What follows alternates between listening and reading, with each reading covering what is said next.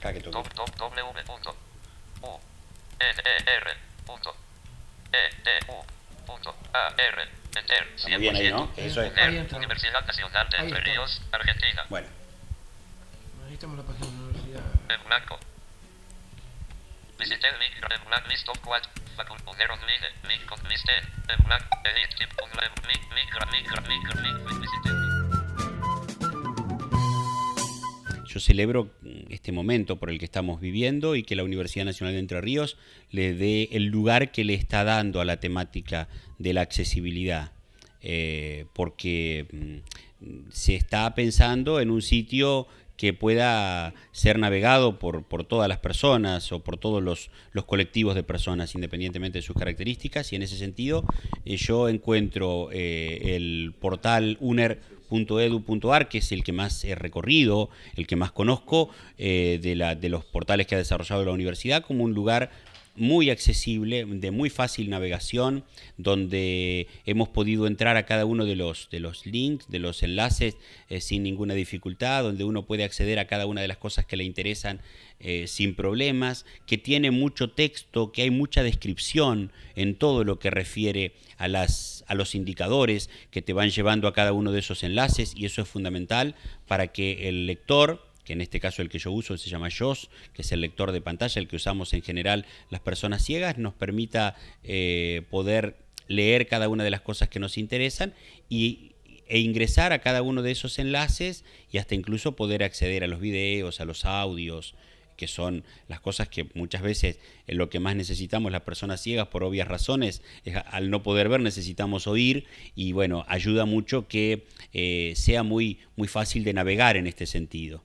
Desde Uner Noticias se puede acceder al suplemento cultural. Desde Uner Noticias se puede acceder al suplemento Y yo lo pongo cultural así, que refleja las corrido, creaciones ¿viste? y el talento de nuestros artistas, pero también con una mirada global sobre el ámbito de las letras, el arte y la música. Al portal del ingresante que pone a disposición toda punto punto punto EA en nivel 2 link URL. Link URL listo Claro. item link institucional listed link subate. profundizar un camino que ya han empezado a recorrer que tiene que ver con la descripción de fotos, con la descripción de imágenes. Eso para nosotros es fundamental. El epígrafe, lo que dice la foto, a qué refiere y que sea lo más, lo más preciso posible de lo que, de lo que, de lo que es la foto, digamos, de lo que es la imagen, que sea una, una descripción necesariamente de la imagen. Y la otra tiene que ver con los, eh, eh, con los, los banners, que a veces hace que el, el show te vaya leyendo eh, muy, muy rápidamente demasiadas cosas distintas. Eh, y esto, eh, lo que tiene que ver con imágenes, siempre eh, genera alguna dificultad en la navegación. Si ustedes van a, van a escuchar, viste que cuando nosotros fuimos navegando la página, en determinados momentos se interrumpía el texto para contarte otra cosa que tiene que ver con lo que con lo que gráficamente se ha establecido. Pero lo señalo como un elemento a tener en cuenta. También debe haber un equilibrio ¿no? entre lo que, digamos, para que la persona con discapacidad visual pueda navegarla, pero que también para la persona que está viendo la página guarde cierta estética desde la gráfica en, el- en lo que se quiere decir, en lo que se quiere recorrer. Se incorporarán investigadores altamente calificados. Nuestra universidad incorporará a nueve doctores y 12 profesionales asistentes que serán financiados por el Ministerio de Ciencia. Punto, punto, punto.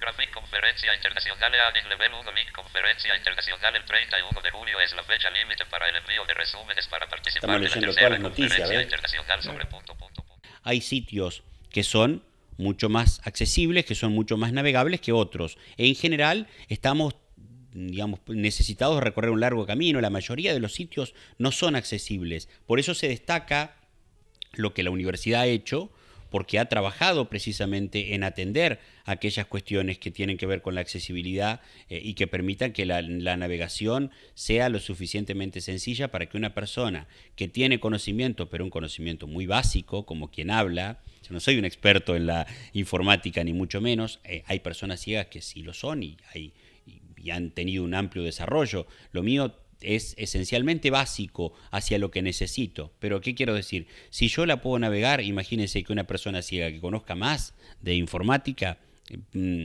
podrá manejarse mucho mejor todavía en este sitio. Sacando las páginas que están pensadas para personas con discapacidad, digamos, hablando de una página general, digamos, debe tratarse de uno de los sitios más accesibles que yo haya recorrido mm, en este tiempo. Y eso es un dato no menor, aún con todas las cuestiones que puedan quedar por, por reformularse. Es decir, que la Universidad Nacional de Entre Ríos, por lo menos en el, en el portal del que estamos hablando, ha desarrollado un eh, esquema de accesibilidad muy importante que podrá ser profundizado, pero que por lo menos para las personas ciegas hoy por hoy ya es muy bueno.